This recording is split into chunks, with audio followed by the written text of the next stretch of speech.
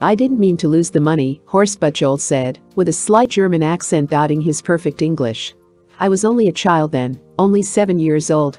I meant no harm. It was only that my head was always in the clouds, always filled with dreams. But my father didn't understand how could he understand when a son lost money that he had worked so hard to make. Always, I was running, running, delivering shoes before school, after school, on Saturdays, even Sundays.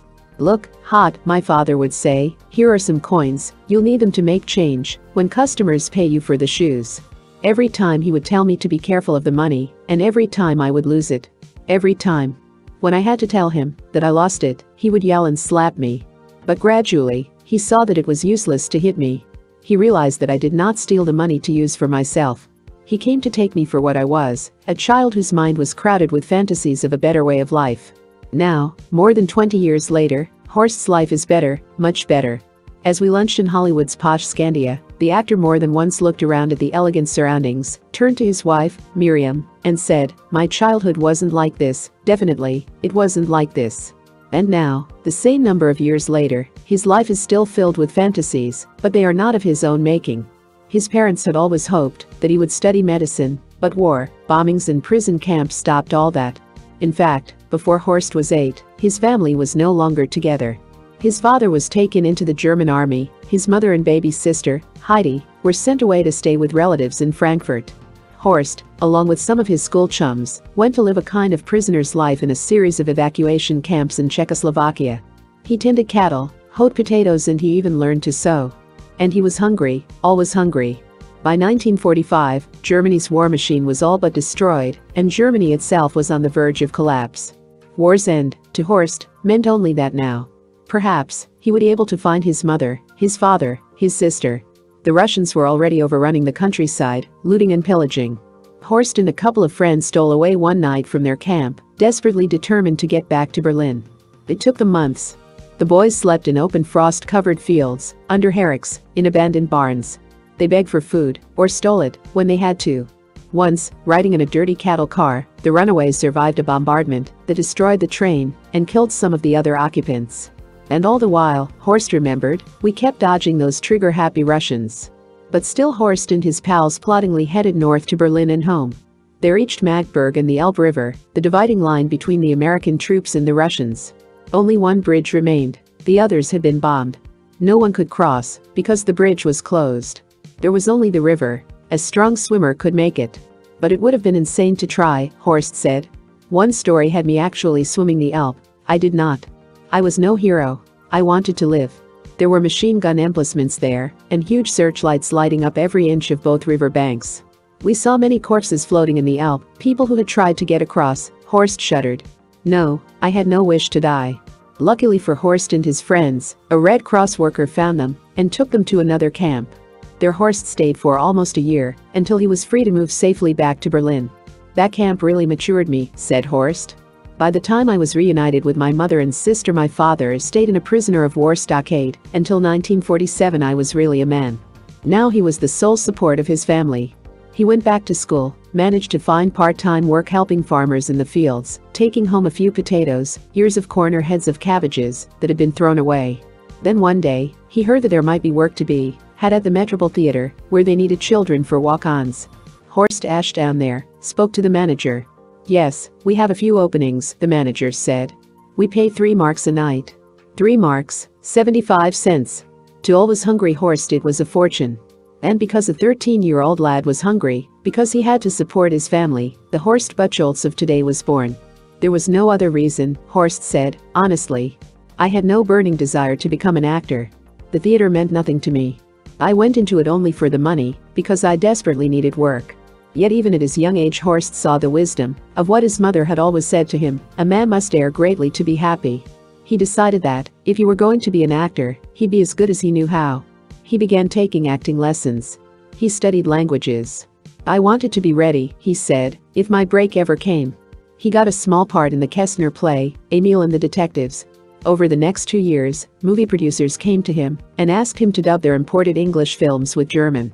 He was a bit player in dozens of comic operas, appeared on Radio Berlin, often slept only three or four hours a night. He was all of 15.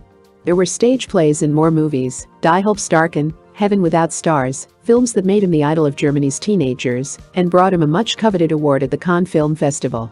Soon he was Germany's leading young actor. At 20, he was already a major continental star. But the picture which was the first to gain him worldwide attention was Thomas Mann's classic The Confessions of Felix Krull. In the world's press, Horst, the boy who had to become a man at 12, was acclaimed as one of the great new actors of our times. But to one girl, a lovely young French actress named Myriam Bru, the fame of Horst Buchholz, didn't mean a thing. Horst and Myriam first met in Munich, on the set of the Franco-Italian production of Tolstoy's Resurrection. They were to be co-stars, Horst playing the arrogant Prince Dmitri, Myriam, the young girl Katauka, whose love Dmitri hopes will redeem him. Myriam had seen Buchholz in a German movie in which he played a leather-jacketed young punk, and she was furious at the notion that he was to be her partner in the Tolstoy classic. You mean, she exclaimed to the film's producer, that you're going to have that beatnik, that Rhineland rock and roller, play Prince Dmitri? Horst himself was not too impressed with the young French actress either. Oh, yes, he smiled, I thought she was charming and intelligent, but that's all. Somehow, though, Horst's gentleness and kindness charmed Miss Bru. Myriam loved Paris. She had her own apartment there on the Avenue Montaigne, and Horst loved the great city of light too. He had hitchhiked there once, when he was about 18, with only $13 in his pocket, and he had lived in the Algerian section for two weeks, on milk, bread and porridge. It had been a delightful adventure. So Horst and Myriam became good friends, only friends, nothing more. Then, as Horst remembers, we had to go to the Italian island of Ischia to do some location shots. It is a marvelous place for romance, this Ischia, and Myriam and I had nothing but love scenes. I suppose that was when we really fell in love. When Resurrection was completed, Myriam left for Rome, while Horst was scheduled to begin Tiger Bay in Wales. The first day he was there, he saw that he could not be away from Myriam another minute. He sent her a cable.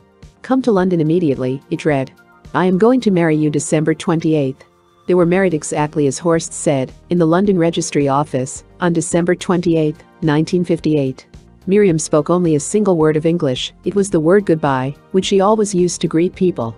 Horst himself was having troubles with the language, but he had a better ear than his wife. When I first went to England to do Tiger Bay, he said, English was a mystery to me. So I had to learn my lines like a monkey.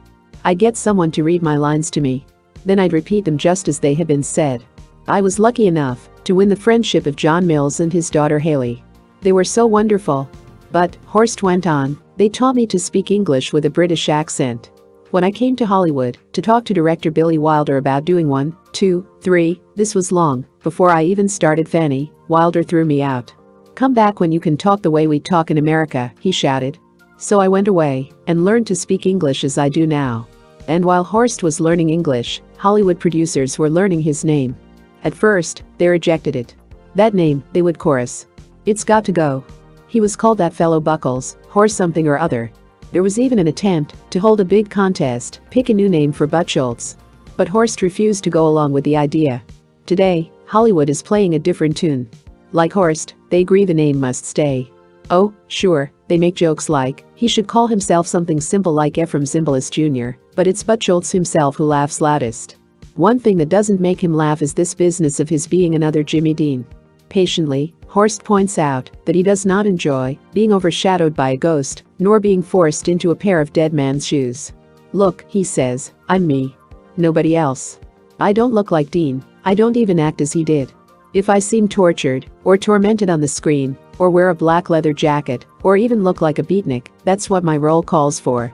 That doesn't make me another James Dean. For instance, I was born on December 4, 1933, that makes me 28 years old. That isn't particularly old. But in Munich recently, somebody mentioned a certain young actor who is beginning to make a name for himself. Yes, they said, solemnly, this boy shows real promise. He is a young Horst Buchholz. So you see, they do this, this comparing everywhere. But I am no James Dean. There was, of course, the way Horst hurtled his white Cadillac convertible across the narrow highways of Europe that helped liken him to Dean. But that car is no more, even the man who all but killed himself recently on a Munich road is no more. The accident, Horst says a tire blew, happened only a few days after he jokingly told director Billy Wilder, I'm not going to die like Jimmy Dean. They found Buchholz crawling beside his demolished car, clutching his middle where a piece of the shattered steering wheel had pierced him. He was in the Munich University clinic for weeks and almost died. What scars the accident left, scars both physical and emotional, the episode is a closed chapter with him. When the accident is mentioned, Horst's eyes turn veiled. Dean, they said, had a death wish, and that explained the way he drove the Porsche that finally killed him. But Horst? He was soon to become a father. He had commitments for pictures extending over the next few years. He had his Myriam. His parents, his sister Heidi were back with him again. You know, Horst said, I never really liked that big car. I only bought it because Myriam and I travel around so much. We had to have room for all her trunks and suitcases, as many as 14 of them, he laughed, looking teasingly at his wife. But now I have no car, I don't know when I'll get one, and I don't care. Horst and Myriam have an apartment in Paris, a winter home in Chur, Switzerland, they both love to ski, and for their stay in Hollywood, they've rented a huge home in Bel Air. With an Olympic-sized swimming pool, Horst adds gleefully. And that's where Myriam will stay until the baby, due next month, is born. While Horst goes off to India to make 9 hours to Rama. For company, she will have Horst's mother and her own mother. There will be one problem, no car. It would be useless, a car, Myriam said. I do not do driving. I shall have to be drived. Horst almost choked on his coffee, driven, he said. Not drived. Some people who have worked with Horst say that he's hard to know, and Horst admits that this is true, at times. He can be moody, intense and even highly opinionated, one coworker declared. In Marseille and Cassis, when we were making Fanny, Horst, and Myriam kept pretty much to themselves, or spent their time with Horst's mother, father and sister, who were visiting them.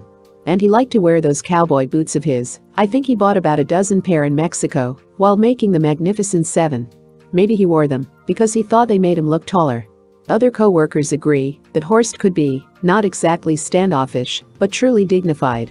Yet when he felt in the mood, he could be boyish, even playful. He liked to play games with hats, make funny faces and shadow box with the camera crew. When he was in Munich doing one, two, three, studio people set up a Hollywood-style premiere for The Magnificent Seven.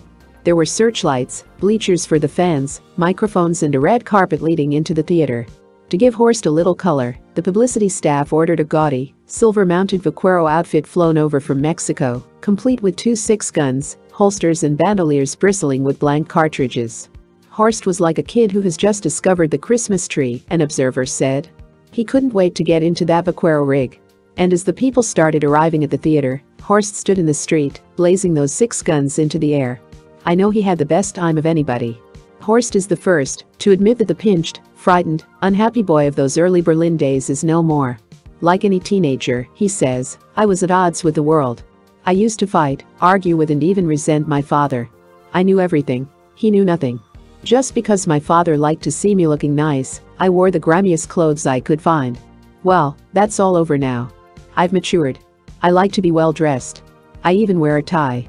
I'm very very orderly. Wallet in this pocket, cigarettes in this one, small change here, you see, everything in its place. My father and I are very good friends now. And my son, our baby must be a he, he will not be the rebel that I was, I hope. There is no doubt that marriage to Myriam has changed and mellowed Horst.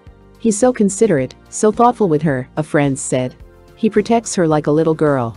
They have such an affinity in their thoughts that often they found themselves making the very same comment at identical moments. Myriam has virtually given up her own career because their marriage comes first. If Myriam is slow to grasp an Americanism, Horst happily translates the phrase into French for her, or tries to. Horst was asked if he enjoyed meeting the press. I love it, he said, prompting the comment that he is probably a ham at heart. Myriam perked up her ears. You are ham? she asked. What means this? Oh, you know, ham, Horst laughed. It is what we eat. Well, said Myriam, naively, if you are ham, I will put you in the icebox. That's right, said Horst, chuckling, and you are going to keep this ham for the rest of your life. So, if you've been wondering about that unique new screen lover with that unique name, now you know. He's tousled, human, even perhaps a little flawed. But he's also, in Billy Wilder's words, probably the best young leading man in the world today. It was Wilder too, who once said that, in making the kind of pictures he makes, some like it hot, the apartment, I am not out to provide messages or reform the world. I just want to force the audiences to drop their popcorn and watch. And Horst Buchholz, the lover in the name, will make you do just that. Photoplay magazine February 1962